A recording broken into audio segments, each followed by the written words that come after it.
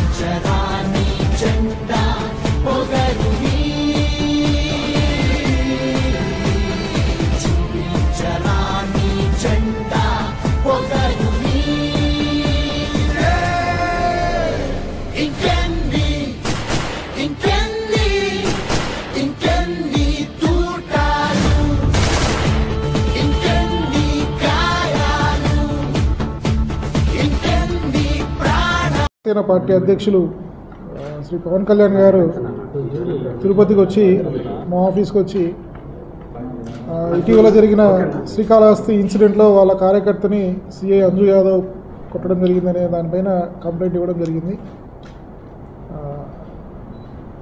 అతను కొట్టే సాయి అని అతను ఈ నిరా నిరసన సందర్భంగా అతనిపైన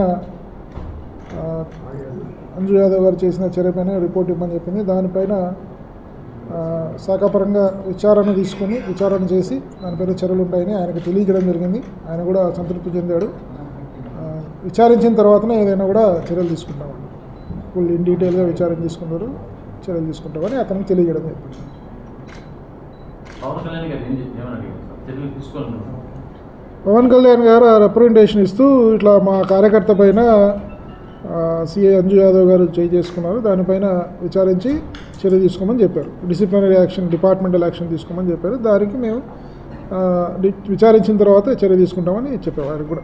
అంటే జనసేన పార్టీ కార్యకర్త కూడా రియాక్ట్ కారణం? అది ఇంకా విచారణ అధికారిని ఇప్పుడు వేసి దాన్ని తీసుకుంటాం. ఇంకా ఇప్పుడు వేస్తాం. వాళ్ళు ఇచ్చిన రిపోర్ట్ పైన ఇప్పుడు వేసిన తర్వాత దాన్ని ఎవరిని అప్రాపరేట్ ఆఫీసర్ ఎవరిని చూసి వేసిన తర్వాత వస్తుంది. సో ఆమెని విచారిస్తారు అతన్ని విచారిస్తారు. ఫుల్ డీటెయిల్గా విచారించిన తర్వాతనే what happened on the day అనేది వస్తుంది. సరే ఈ అలా ఘటన ఇది- అందరికీ ఇదివరకే కా- ఈ జరిగింది. ఘటన అందరికీ కారణం వాలంటీర్ వ్యవస్థలో ఏదైతే గతంలో ఫిర్యాదులు ఏమైనా వచ్చాయి సార్ ఈ ఉమెన్ ట్రాఫికింగ్ పైన. లేకుండా జనసేన పార్టీ అధ్యక్షుడు కా- ఆరోపణలు వెనక వాస్తవాలు ఏంటి చెప్తారా? అది కూడా అది పొలిటికల్ స్టేట్మెంట్ ఇవ్వడం జరిగింది ఆయన కొన్ని రోజుల క్రితం. దానికి దానికి అనుగుణంగా మీరు రాష్ట్ర వ్యాప్తంగా కూడా వాలంటీర్లు నిరసన కార్యక్రమం తెలియజేస్తున్నారు. అందులో భాగంగా తిరుపతిలో కూడా చాలా చోట్ల తెలియజేయడం జరిగింది. సో మనకి ఆ స్టేట్మెంట్ తర్వాత మన పోలీస్ తిరుపతి జిల్లా పోలీస్ పరంగా ఏమేమి గత గడిచిన ఫోర్ ఇయర్స్లో మిస్సింగ్ కేసెస్ ఎన్ని రిపోర్ట్ అయినాయి ఎన్ని ట్రేస్ అయినాయి అనేది మనం మన ఫిగర్స్ తీసుకుంటే అది మొత్తం మొత్తం. మన జిల్లా వరకు వస్తే రెండు వేల ఇరవై మూడు యాజ్ ఆన్ థర్టీ జూన్ వరకు తీసుకుంటే రెండు వేల నూట ఎనభై మూడు కేసులు ఉమెన్ మిస్సింగ్ కేసులు రిపోర్ట్ అయితే రెండు వేల ఎనభై నాలుగు మంది ట్రేస్ అయినారు.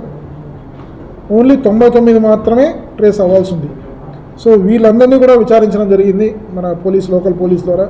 ఎవరు కూడా ఎక్కడ కూడా వాలంటీర్ కారణమని ఎవరు చెప్పలేదు. సో అలాగే మన రాష్ట్ర వ్యాప్తంగా చూసుకుంటే మన డేటా మన రాష్ట్ర డేటా ఆంధ్రప్రదేశ్ ఆంధ్రప్రదేశ్ రాష్ట్ర డేటా చూసుకుంటే గత నాలుగు సంవత్సరాల్లో ఇరవై ఆరు వేల తొంభై తొమ్మిది మంది మిస్ అయినారు సో దాంట్లో మనకి ఇరవై మూడు వేల మూడు వందల తొంభై నాలుగు మంది ట్రేస్ అయినారు. ఓన్లీ లభించని మహిళల ఆచూకీ రెండు వేల ఏడు వందల ఐదు మహిళలు మాత్రమే ఆచూకీ ఇంకా తెలియలేదు.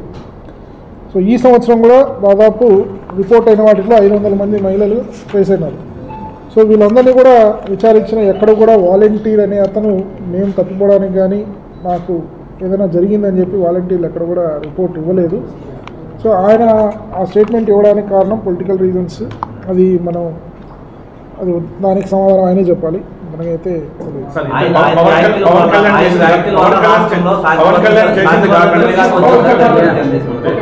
శాంతి భద్రతలు- విఘాతం అనేది ఆయన వ్యాఖ్యల వల్ల వచ్చింది. దాని గురించి ఆయన పవన్ కళ్యాణ్ గారు నిలదీశారు? ఆయన వ్యాఖ్యల వల్ల రాష్ట్రంలో అశాంతి నెలకొంది. శాంతి భద్రతల విఘాతం వచ్చింది. ఆ ఫిగర్స్ అన్నీ ఆల్రెడీ కూడా ఆయనకు తెలుసు. ఎందుకంటే ఆల్రెడీ ప్రశ్న నోట్ ఇచ్చారు. సార్ పవన్ కళ్యాణ్ గారు ఇప్పుడు ఈ- ఈ ఘటన పక్కన పెడితే గతంలో కూడా అంజయ్ యాదవ్ గారి మీద చాలా ఫిర్యాదులు ఉన్నట్టుగా చాలా కామెంట్స్ చాలా ఆరోపణలు ఉన్నాయి గతంలో కొన్ని ఉదాహరణలు ఉన్నాయి. చాలా వీడియోస్ వైరల్ అయ్యాయి. వాటన్ని కూడా ఏమన్నా ఇప్పుడు పరిగణలోకి తీసుకుంటున్నారా? వాటన్నిటిని కూడా తీసుకొని విచారిస్తాం ఎందుకంటే ఇప్పుడు ఇప్పుడు రీసెంట్గా మీరు ఫోర్ ఫైవ్ డేస్ చూస్తే అన్నీ కూడా వైరల్ అయినాయి. సో అవన్నీ కూడా సోషల్ మీడియాలో వచ్చినవి కూడా తీసుకొని విచారిస్తాం ఇవి ఇప్పటికే ఒక నివేదిక పంపారని ప్రచారం జరుగుతుంది. అది లేదు. కమిటీ అనేది వేశారన్నారు కమిటీలో ఎవరైనా ఉన్నారు తెలియజేస్తారు? కమిటీ ఇంకా వేయాలండి. ఇప్పుడే పిటిషన్ ఇచ్చారు వాళ్ళు. చాలా పెద్ద ఇష్యూ కదా. ఒక రాష్ట్ర అధ్యక్షుడు పవన్ కళ్యాణ్ రావడానికి ప్రధానమైన కారణాలు ఉన్నప్పుడు శాఖపరమైన చర్యలు కూడా తీసుకోవాలి కదా సార్. అలాంటి ఏం లేవని దాని మీద ఆయన మండిపడుతున్నారు? ఆయన ఏం మండిపడలేదు. వాడు మాట్లాడుతూ సార్, ఆయన మాట్లాడుతూ ఏమన్నాడు. ఎస్పీ గారికి ఇచ్చాము వాళ్ళు పరిశీలిస్తామని చెప్పారు. అంతవరకే మాట్లాడారు. మీరు ఎయిర్పోర్ట్లో వాయిస్ కూడా వినండి ఇప్పుడు ఏమైనా కమిటీ ఉన్నాయి సార్ అంటే దీని ఇది ఇది కాకుండా అంటే సత్యవేడికి సంబంధించింది ఇతర చెప్పడం కూడా జరిగింది సార్ ఏమైనా కోరారా? లేదు ఓన్లీ ఇష్యూ మాత్రమే తీసుకొచ్చారు. ఆ ఇష్యూ కూడా మేము ఆయన కూడా విచారించి చర్య తీసుకోమన్నారు. మేము కూడా అదే ఇన్ఫార్మ్ చేసాం. విచారించి ఒక అధికారిని నియమించి దానిపైన చర్య తీసుకుంటామని చెప్పాం. శాఖ సార్ ఎన్ని రోజులు అంజు యాదవ్ మీద చర్యలు తీసుకోవడానికి కారణం? పవన్ కళ్యాణ్ నుంచి ఫిర్యాదు ఇవ్వనందువల్ల సార్? అంటే ఇన్ని వైరల్ అవుతున్నాయి మీరు దృష్టికి వస్తున్నాయి అయినా మీరు రిమోటోగా తీసుకొని ఒక అన్యాయంగా ప్రవర్తించి ఒక అధికారి మీద చర్యలు చెప్పాల్సిన బాధ్యత మీకుంది అన్యాయంగా ప్రవర్తించారని మీరు అంటున్నారు. సబ్స్టాన్షియస్ మనకి ఎక్కడ మినిమం యూజ్ ఆఫ్ ఫోర్స్ అనేది ఒకటి ఉంటుంది. రాష్ట్ర ముఖ్యమంత్రి ఇప్పుడు మనకి ఒక రాజ్యాంగబద్ధంగా ఉన్న వ్యక్తి దిష్టిబొమ్మ తగలబెట్టడానికి ప్రయత్నం చేయడం తప్పదు సో దాని నివారణలో భాగంగా ఇది జరిగిందని మేము అనుకుంటున్నాం.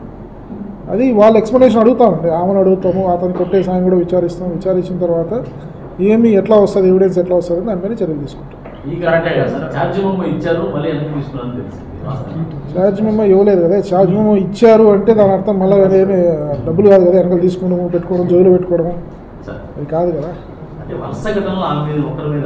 గారి వల్ల పోలీస్ యాక్ట్ ఒక భక్తులు చెప్పారు రిపోర్ట్ చేశారు. రేణుగుంట్ల గలాటలు ఉన్నాయి. కాలసల గలాటలు కూడా విచారిస్తాం ఇప్పుడు. ఇప్పుడు ఇప్పుడు ఇచ్చిన సందర్భంలో మీరు చెప్పిన ఘటనలు కూడా విచారించే అవకాశం ఉంది. ఎందుకంటే కమిటీ వేస్తారు. ఇంతకుముందు ఇండివిజువల్ ఆఫీసర్ మాత్రం ఎంక్వైరీ చేశారు. ఇప్పుడు కమిటీ వేసి విచారించి దానిపైన చర్యలు తీసుకుంటాం ఆ రిపోర్ట్ పైన బేస్ చేస్తాం హెచ్ఆర్సీ సార్, అంటే time warning. ఏమైనా హెచ్ఆర్సీ హెచ్ఆర్సీ నుంచి నోటీస్ అయితే వచ్చిందండి. ట్వంటీ సెవెంత్ రిప్లై ఇవ్వాలి సో పొలిటికల్ ఇన్వాల్వ్మెంట్ ఏమైనా ఉందంటారా ఈ వ్యవహారం ఈ వ్యవహారంలో పొలిటికల్ ఇన్వాల్వ్మెంట్ ఏం లేదు. ఆయన కూడా స్టేట్మెంట్ ఇచ్చారు. కొట్టే సాయి కూడా మీకు మార్నింగే స్టేట్మెంట్ ఇవ్వడం జరిగింది టీవీ నైన్లో ఆమె ఎవరో ఆయనకు తెలియదు ఆమె అతను ఎవరో ఆమెకు తెలియదు అని అతనే స్వయంగా ఒప్పుకున్నాడు. ఇందాక కూడా వచ్చినప్పుడు అడిగాం. మేము. ఎక్కడ కూడా ప్రీవియస్ గ్రడ్జెస్ కానీ ఏమి లేవు. Okay thank you